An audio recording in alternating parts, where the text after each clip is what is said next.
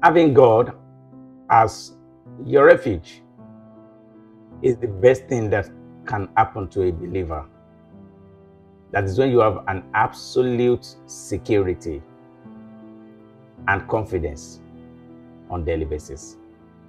Hi, I welcome you again to my YouTube channel. I remain John Olumayoluwafemi. If this is your first time here, I welcome you. And if you have not subscribed to my YouTube channel, kindly subscribe to my YouTube channel.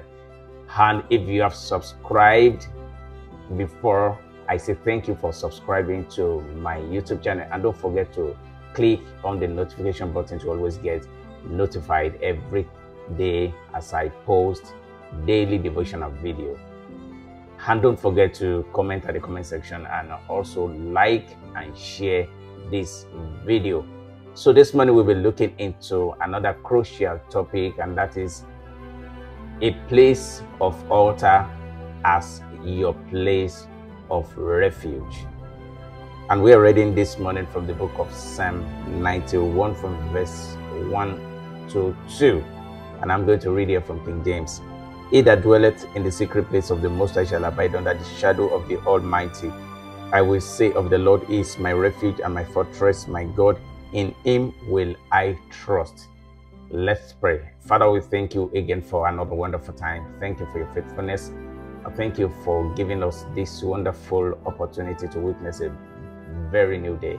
Lord, accept our thanks and praises in Jesus' name.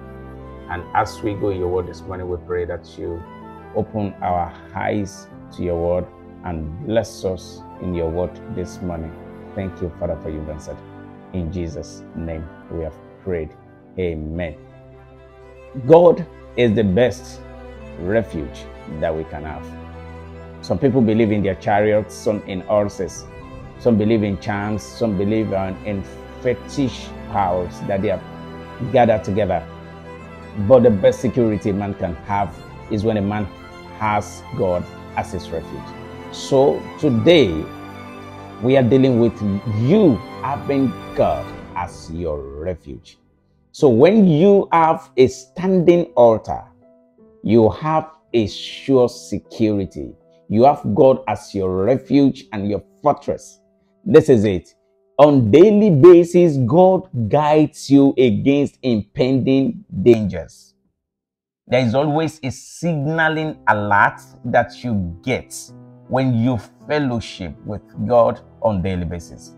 Your place of fellowship is as well as your place of refuge. And that's why the Bible says here that he who dwells in the secret place of the Most High shall abide under the shadow of the Almighty. There is no evil that can come to you when you are dwelling in the place where God is.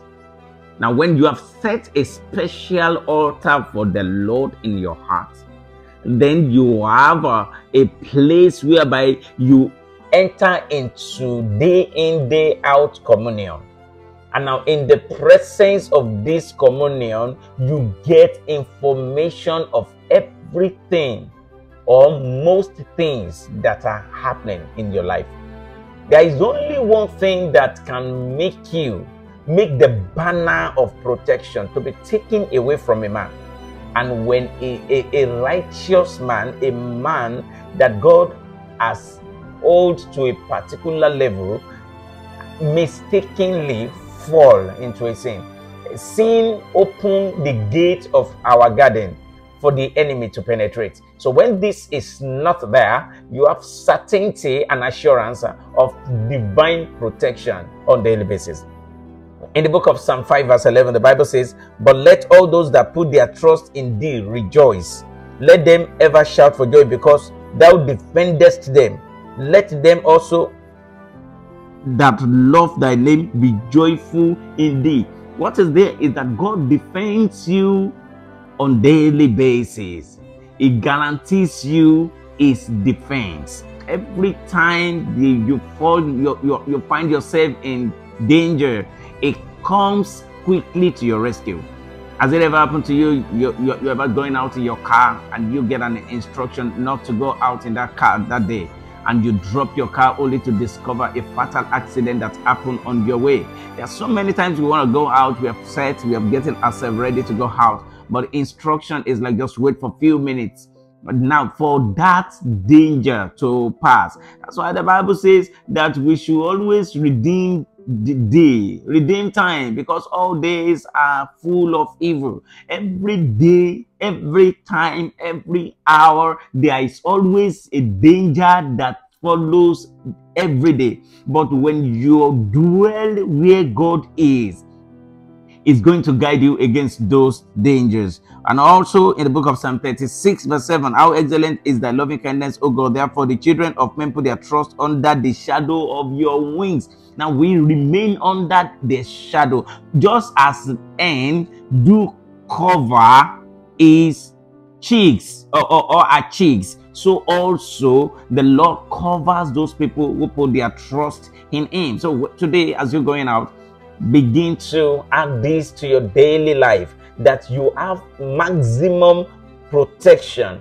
when you dwell in the presence of God. So do not leave the presence. Always be conscious of His presence and let His presence guide you on daily basis. And as you do, may the Lord make His light to shine upon you today and grant you protection in all your endeavors in Jesus' name. Shall we bless the name of God this morning again? There's another wonderful time. And shall we begin to appreciate Him for His faithfulness? He's so faithful, He's so loving. Bless Him, bless Him this morning. Say to Him, Lord, I bless you, bless you for protecting me. You know how many dangers that have passed you by, and the Lord has saved you from all those dangers. You know how many worries, how many pains, how many situations that could have taken your life, but He has been protecting you. That's His faithfulness to you. Begin to appreciate Him this morning. Daddy, I thank you for your faithfulness. Great is your faithfulness unto me, unto my family, unto my children, unto my wife, unto my husband, unto my family members, unto everything that pertains to me. Begin to thank Him for this, appreciate Him, and also begin to say to Him, Lord, I know I have sinned for not fellowshipping with you the way you are expecting me to do. I am, I am depriving you of my fellowship. I am not spending enough time with you. I am not spending so much time in relationship with you. Father, please forgive me this morning. I know it is a sin on my part and begin to appreciate, begin to talk to him that daddy, please forgive me my sins. Forgive me the sins this morning. And as well, begin to tell him that Holy Spirit, have your way in my life this morning. And I create a room for fellowship.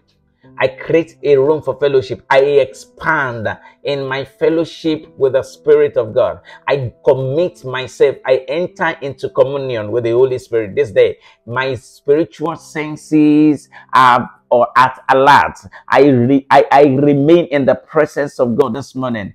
Throughout today, I do not move out of His light. I do not move out of His instruction. I do not move out, out of His will. The will of God today is going to be my will. It shall be my will throughout today. I commit myself into the end of God for protection. And I and my family members, we are divinely protected today in the name of Jesus. And at the end of today, let your name be glorified in my life. Begin to say to Him, begin to say, and if you have a special request from Him today, that is pertaining to you and your life. Begin to say to Him, Lord, this is my request this morning. This is my request. This is my desire. If your own desire is to know Him more, begin to pray to Him that my desire is to know you more, to know you more, to know you more. Help me to know you. Help me to know you. Eh, whatsoever your desire is, begin to say to Him, Father, we thank you this morning for this wonderful time. Is another wonderful time in your presence. Lord, accept thanks and praises in Jesus' name. And according to our request, we pray that you grant us our heart desires today in the name of Jesus.